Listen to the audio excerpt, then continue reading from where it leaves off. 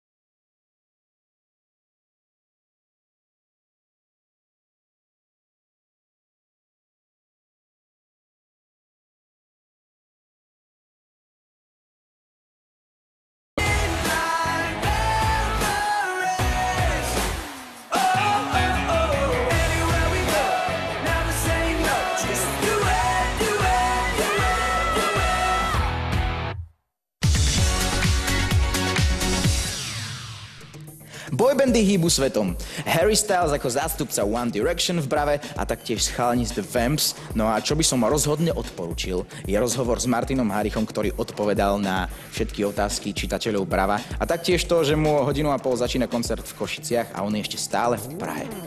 No ako je toto možné? Do rubriky Láska a sex nám píše aj 17-ročný Jirka, ktorý už zdá sa pomaly dospieva. No, milujem svoju priateľku, ale nájdu sa chvíle, kedy jej už mám plné zuby. A bol by som najradšej s kamošmi alebo sám. Povedzte mi, že či je toto normálne. Tak v tvojom veku a v dnešnej dobe je to podľa mňa úplne normálne, akurát odborné rady ti dajú mixery. Tak pozdravujem, ahoj.